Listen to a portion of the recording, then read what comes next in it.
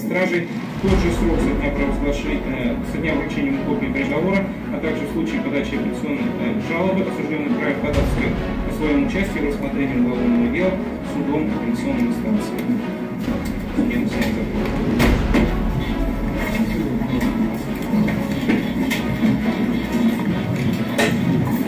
Судебное заседание закрыто, пресса, пожалуйста. Да, завтра.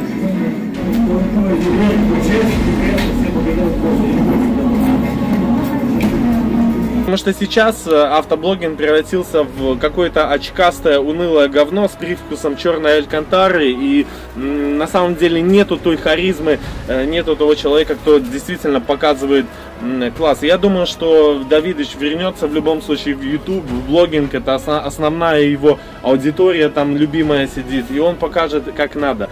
Будет ли он таким резким, таким активным, я думаю, что сейчас уже вряд ли.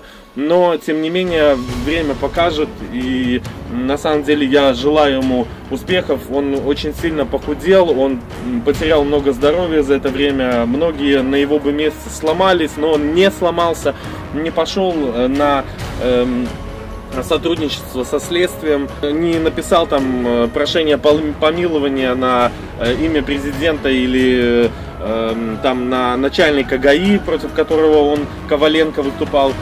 М, И он настоящий мужик, настоящий мужик. И даже если вы считаете, что он был в чем-то виноват, мы этого не знаем. Даже если вы считаете, что был в чем-то виноват, нельзя человека сажать э, в такие сложные условия за экономические преступления. Потому что даже если есть экономический какой-то ущерб, то э, выплачивается он в полном размере или, пускай даже десятикратном человек выходит на свободу или хотя бы под домашний арест. А тут начали прессовать его, его семью, его жену, э, гражданскую Анну Каганскую, его мать, э, очень сильно перенервничала все имущество его и так далее и тому подобное. Поэтому, друзья, я вас всех поздравляю. Скоро, очень скоро начнется, можно сказать, передел автоблогинга, ютуба и будет на самом деле очень интересно.